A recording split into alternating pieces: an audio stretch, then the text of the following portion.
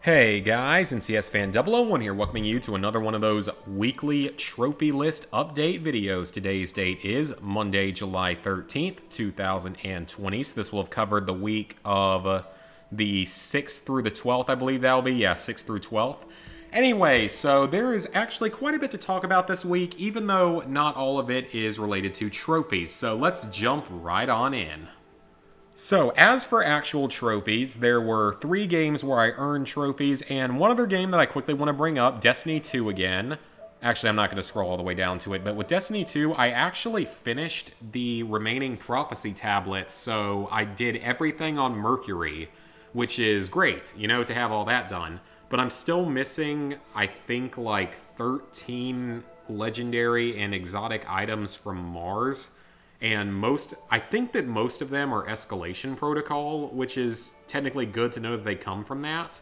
Because i got the ones that are strike specific. I think there's one for completing data recovery. I still need to do that at some point. I don't know why i haven't actually gone and done that one yet. I probably need to find someone to do it though because it's a little bit easier with multiple people. But anyway i don't know what's going to happen with the trophies once they remove mars and mercury. Like once they remove mars and mercury actually you know what? That I will go down to it because I want to think about this for a second.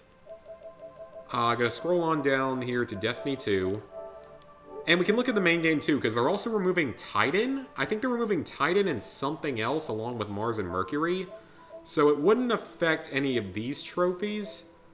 I guess it wouldn't affect this one either, because, yeah, because Earth and other places will still be there. That one, I, I guess it probably won't affect the main game. I don't think it would. I don't think losing Titan would affect the main game. Except for, you know, not being able to maybe...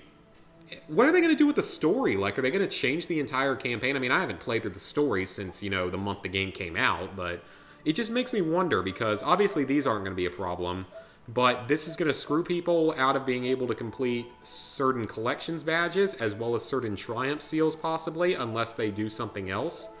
I don't think this is going to be a problem, but I think that all the Forsaken exotic quests take you to Mars and Mercury at some point. At least some of them do.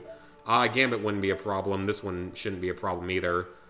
And, I mean, are they going to take out the raid? Like, I, I just don't know. Like, I don't know exactly what it's going to do because I've worked a lot on this Triumph Seal and I'm only missing really that one, those two collections badges. I still need to do a lot for the Dreaming City and the shore and all, or I don't know if there's any for the shore, but for that one for Forsaken, but that one at least I would still be able to do it. But I, I just don't know, guys. Like I don't know what they're gonna do with the game. I don't know how they're gonna change up the trophies and stuff.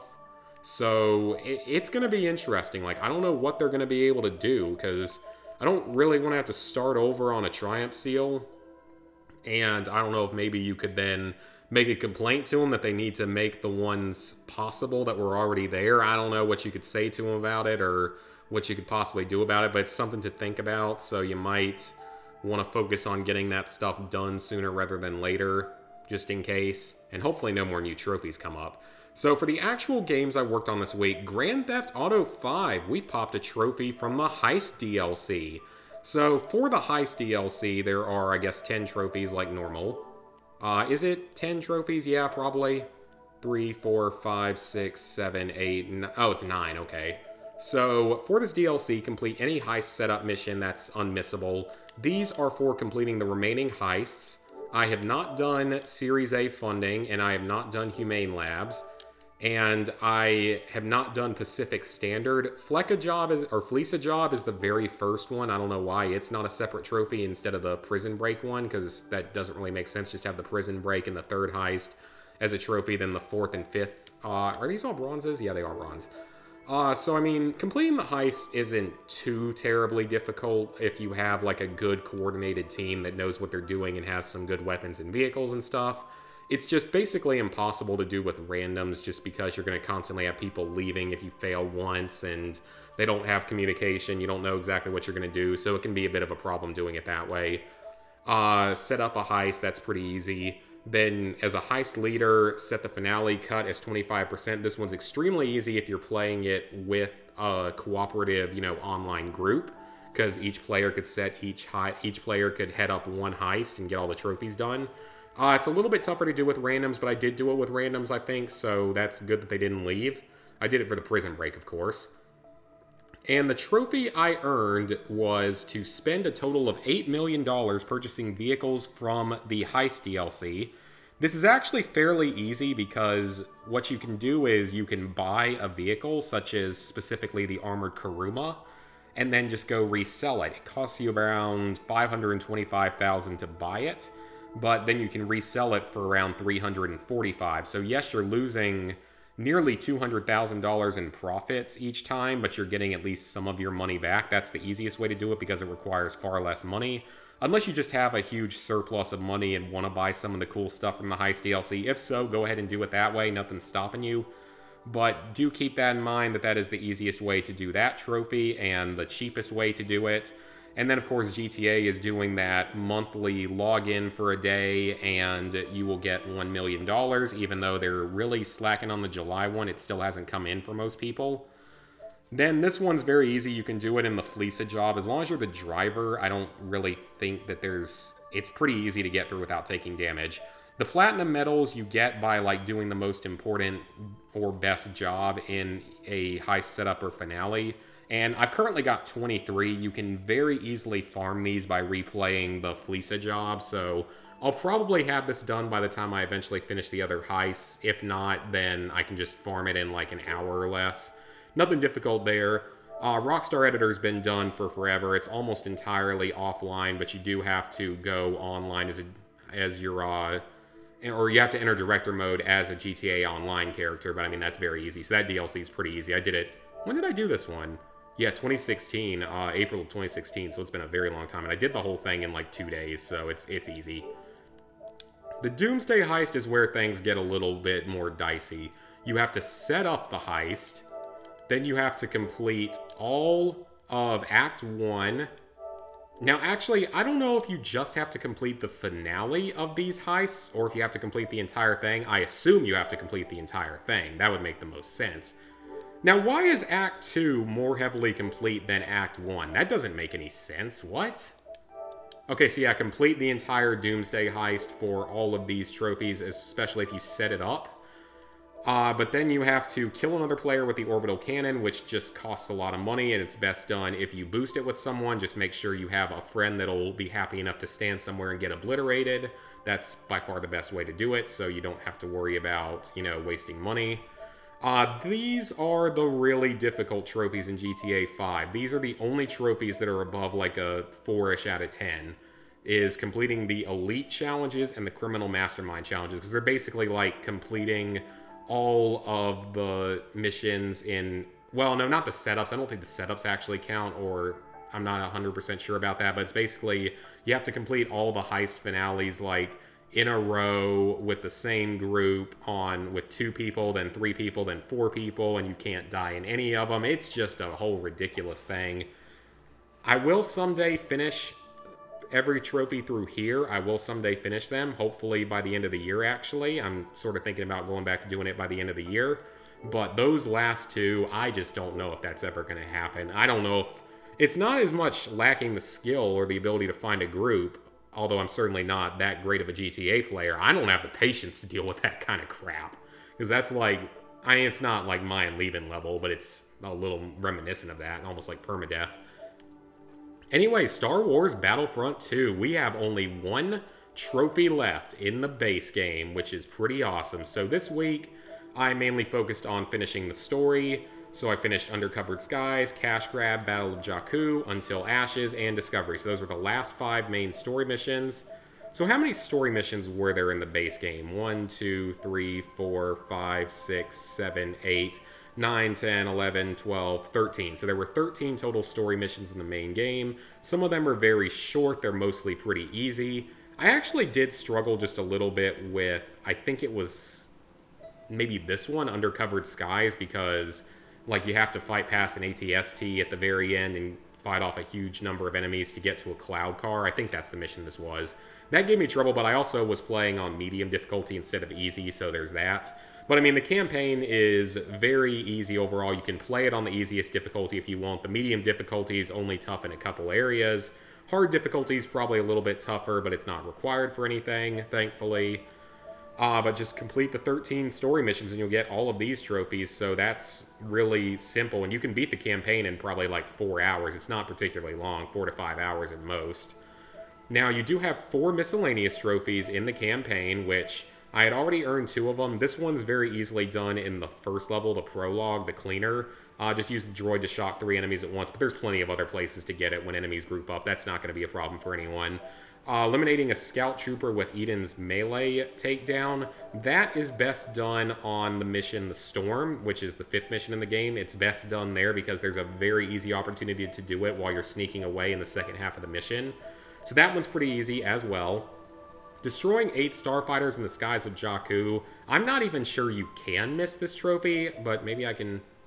No, people have been missing it because that... That's really surprising that people actually miss that because I'm pretty sure you have to shoot down like around eight of them to even forward the game in that area. So I don't know, but I'm I'm surprised that people would miss that because that's a super easy trophy. That's not going to really cause any issues. And then this one right here, Balance Point, this is the hardest of the four miscellaneous trophies, five enemies at once using the Barrage. Just because I wasn't getting favorable enemy spawns, but it's best done on the Battle of Endor, that's the suggestion. I don't know if there's a better mission. I also went through and found all the collectibles, just because I'm a little bit of an overachiever and just wanted to see if I got anything special for it. You just, I think you just get some, uh, like some credits and stuff for doing it, but that's about it. But hey, you know, that's okay. It was it was just a little extra thing. Plus, it completed all the milestones for the single player, which is kind of cool, except for the ones for Resurrection. Now, as for the other trophies, the only trophy I'm currently missing, I don't think I got any multiplayer trophies this week, right? Yep, no multiplayer trophies this week. Just grinding out the final trophy here of reaching rank 50. I am currently a rank 37, so I am making great progress on that. Uh, probably like two to three more weeks of only playing on Wednesday and a little bit on, or playing some on Wednesday and some on the weekends. I don't know exactly how much which days, but soon enough I will be able to get through this platinum. It's not really that hard now that you can do every so much of the multiplayer and co-op. That makes so much makes the game so much easier. Because I mean, just winning a match of each game mode isn't a problem, but you'll get the multiplayer milestones along the way as long as you're switching around classes and characters a little bit. Uh, you can do the ranking up in the co-op. You can do these four class-specific trophies in co-op. You can't do these three trophies. Actually, there's technically four Starfighter Assault trophies. You can't do those in the co-op mode, unfortunately, so you're going to have to do those legitimately. Arcade match and battle scenarios isn't a problem. That doesn't take a lot of time. It's not very difficult. You can... This one you have to do in the online, but it's very easy. Then this one and this one, you can also do both of those in the co-op mode. So you can do a lot of the tough trophies in co-op, but you still have to do the Starfighter Assault ones online. But as I've said before, if you play the Hero Starfighters mode, that's the easiest way to get the fighter ship kills on hero ships. The dual proton torpedoes is a little more annoying than I thought it would be, but it's not too bad. The interceptor kill streaks and the objectives are very easy. And then, of course, I think I've talked about this before, but Resurrection, all you have to do to earn, is it three bronze trophies? You have three easy bronze trophies. Simply complete the three extra DLC missions. The DLC is free. Complete those missions, and you get three easy trophies and your 100% completion. So I'll probably do that this week. And finally, we have Star Wars Jedi Fallen Order. This game, again, it's pretty good, but I do feel like there are a few things to, that are fair to criticize that were not done as well. One of them is the sliding and rope jumping sections because they just don't control well. I really do not enjoy those. The second thing is the game has a lot of collectibles to find, which, I mean, it's not difficult for the most part with a guide, but it is just quite extensive on the number of collectibles you have to find. Overall, it's like over 250, or I think it's like right around 250 or so. So it's quite a few collectibles and quite a bit of backtracking. The third bad thing is the map. That map is not very well made. They certainly didn't need to have everything overlay as much as it did. They could have made that better. So, I mean, I would say that overall, I'd probably give this game around like a 7 out of 10. If you're into Soulsborne type of games, as this kind of is designed to be that way, you're probably going to like it even more. You're going to like it less if you're not a Star Wars fan, but I am a Star Wars fan. So yeah, I'd give it like a 7 to 8 out of 10. I wouldn't go any higher than an 8 out of 10 though. I think that when the inevitable sequel comes out, they'll be able to make things even better in it. They'll be able to fix some of the flaws with this one. And the other thing about it is, now this might not be the fault of the game. This might be the fault of the copy that I have because it's a disc that I got from GameFly. So it's possible that it could be something with the disc, but there have been quite a few places where the game was really lagging and chugging along. It hasn't crashed or anything, but the loading screens are really long, so just a few simple things they could end up fixing in the sequel that can make the sequel a solid 9 or 10 out of 10 of a game. As for the trophies, though, I got this one. These are the ram-looking enemies. They're not too hard to deal with. Another funny thing is, I played all the way up until the second sister fight without knowing that you could lock onto enemies with R3, and boy would that have helped at times before that, and it made a huge difference later in the game, which is kind of hilarious that I didn't know that, so that's just on me for not following instructions. You have to find all the chests and secrets, which is basically for completing all the maps, which are going to come for other trophies. Defeating the four mysterious creatures, I think they're the ones that have specific red health bars, like one in each world or something. And if that's what it is, then I know where the last one is, and I'm surprised I never killed it. I think it's the albino spider thing on Kashyyyk. All the Jedi skills, I currently have one skill left, and I need two more skill points to afford it. So that's not a big deal. The holo maps is basically filling out all the maps, which definitely takes quite a bit of time, but it's not really like a difficult thing to do overall. Uh, then all of these trophies are for completing the story, I believe. Or this one's not for completing the story, but you'll get it along the way with doing all of the secrets and the chests. But everything through here will be story related, so those are all going to unlock through natural progression, nothing to worry about. By the way, you can play this game on the easiest difficulty. That's what makes the Platinum fairly easy. I've made it a little more difficult on myself by playing on the second easiest difficulty, so gave myself a little bit more of a challenge. Even for someone who's not experienced with this kind of game, it's not very difficult for the most part. There were only a couple of areas that were actually challenging, mainly the, not the final boss fight, but the boss fight further through Dathomir, I believe it is he was uh he was a little bit tougher than I was expecting, but that again I was on the not the easiest difficulty. I think he is considered to be the hardest boss anyway. Uh, 50 enemies with reflected blaster bolts is very easy. You'll probably get this naturally. Parrying 100 enemies is when you hit square to block the attacks. Nothing too difficult there. This one I just need to go for. It's not hard. You can do it against the regular stormtroopers, and you can get these trophies in the battle simulator thing that you can access from the resting points, which is really nice. Three enemies with a single lightsaber throw. Again, you can do it against regular stormtroopers. I did it in that battle setup mode. That's the easiest way to do a lot of these trophies because you can set up a nice wide open arena with exactly whichever enemies you want. It definitely makes things a little bit easier. I'm really glad you don't have to finish all the challenges either because that would be awful or it would be very, very difficult. Uh, then you have to defeat an enemy with a slowed blaster bolt. I feel like I should have gotten this by now, but I guess I haven't. Maybe I'm doing something wrong with it. This one, I don't know exactly what the best place to get this on because I can't imagine I've done too much with it. This one's pretty tough to miss. Just hack any droid and have them kill something else, like the security droids, the big ones that look like the one from Rogue One. Precision evading 100 attacks, I think that this is a different kind of evade from what I've been doing, like if you just hit circle instead of circle with the control stick to roll. If so, I'm going to have to farm this for a little while in the battle simulator, most likely. It's not hard, but it's going to take some time to farm. And I'm not done with the collectibles yet either. I still have to do the entirety of Kashyyyk.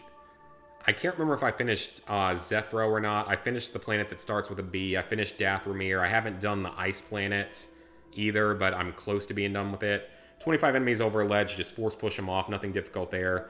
Uh, this one I have been working on in the challenge mode. It's pretty easy if you do it that way because you just hold R1 and then kill them. Uh, this one's pretty tough to miss. You're probably going to get it by accident at some point. Uh, this one, there's only three lightsaber types, so just hit like a tougher enemy. I did it on like the Ogden Bago or whatever it's called and hit it with each type of lightsaber. Pretty easy. This one, I found out like you have to actually slow time and pull the tongue with the force or something to do it. It's a little more complicated than it should be. The stim canisters, I've got 8 of the 10, well, 8 of I'm at eight total when you can have up to 10, and then I've still got to get two more. I think they're both on Kashyyyk. The terrarium is a little bit trickier for some people. It was buggy when the game came out. You have to find 10 seeds and then plant them on the ship. And they take a little bit of time to grow, so you want to try to find the seeds along the way as you play through the game. Just get all of them as soon as you get them, like as soon as you possibly can, and then take them back, and they'll all be grown by the time you finish everything. Uh, this one's pretty easy because there's there's only two that you get throughout the course of the game. Like one of them story related, and one of them is pretty easy to get early in the game. The encrypted logs are another collectible type. Fully customizing your lightsaber just means change all the parts, very easy. Customize the looks, again, just change parts out, very easy. Uh, I'm currently only missing two enemies. They're both on Kashyyyk, which is fine because I still haven't even come close to finishing it yet.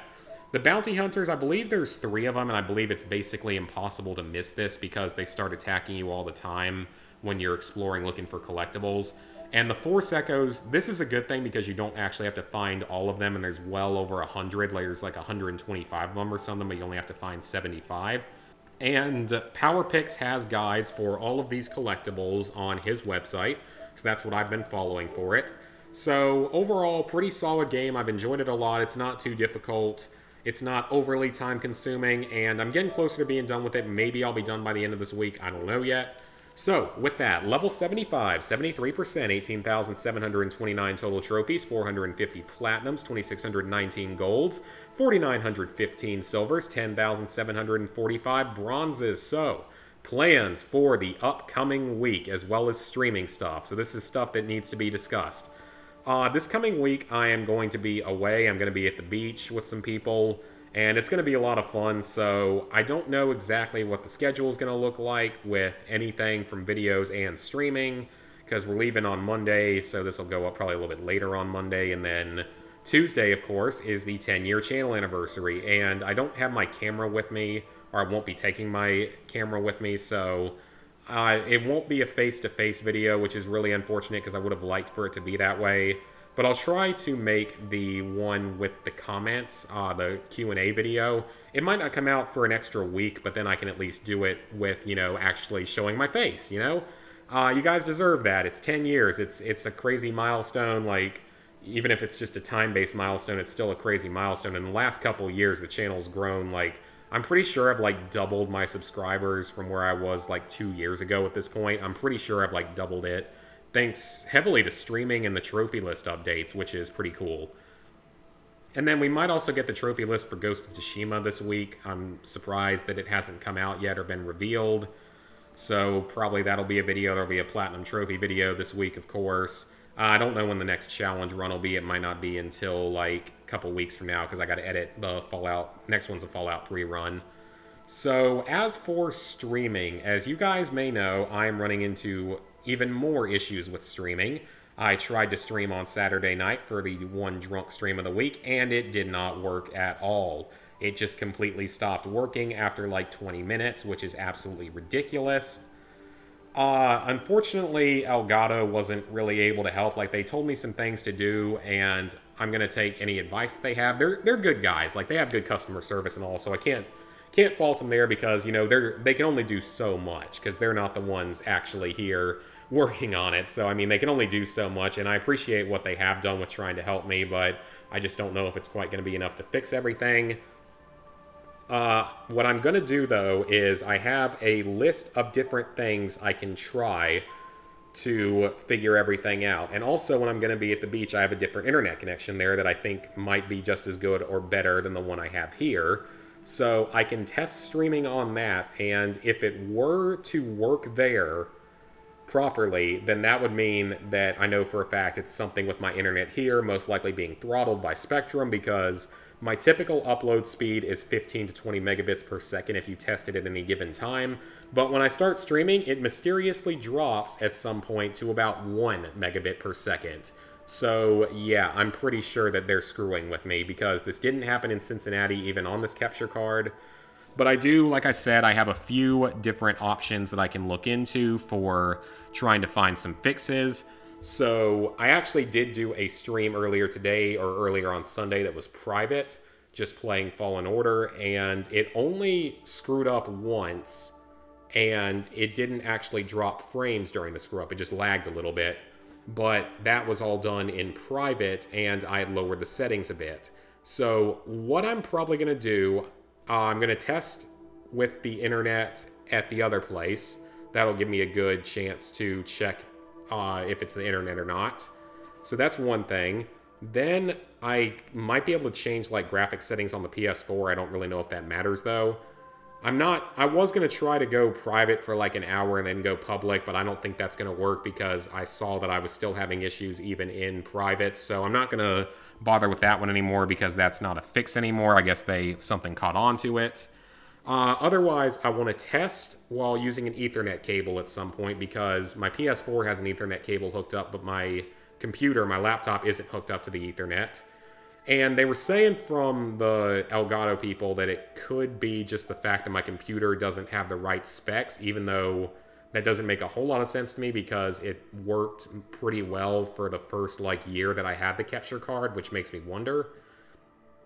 And the other thing I'm going to do is I may just lower the settings on my capture card down to only record in like 720 HD or something. I know it's not as good, but if that works, then at the very least it works and it doesn't crash the stream, then I'm perfectly fine with that. It's better than nothing until I can eventually get a better laptop that can actually handle the higher quality streaming setups.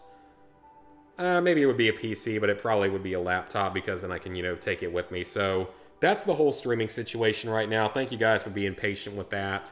But thank you guys for tuning into this video regardless. I know I managed to drag this one out a little bit. So, like I said, this week is going to be a little bit weird with the trophies I earn and with scheduling and stuff, but it's going to be a fun week for me. And of course, celebrating the 10 year anniversary of the YouTube channel is also pretty awesome. So, thank you guys for tuning in. Thank you guys for 10 years. There will be some kind of video up that day. It might not be super long because, again, I won't have like face cam for it or anything. But I do hope you guys enjoy whatever comes out this week, and I do hope I can get the streaming issues worked out. So, once again, thank you guys for tuning in and for the 10 years, and I will see you guys this week.